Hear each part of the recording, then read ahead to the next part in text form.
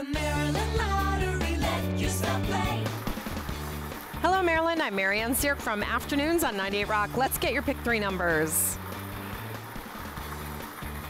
We'll start off with a four. Next up, we have a three, and last, a five, making your pick three, four, three, five.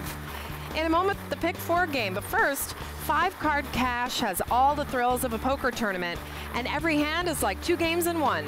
You could win instantly and in our daily evening drawings. Details at mdlottery.com.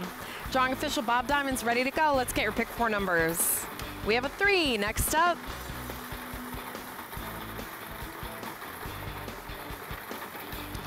a zero, followed by a four, and last, a six as written on the ball, making your pick four, six. The Maryland Lottery. Let yourself play.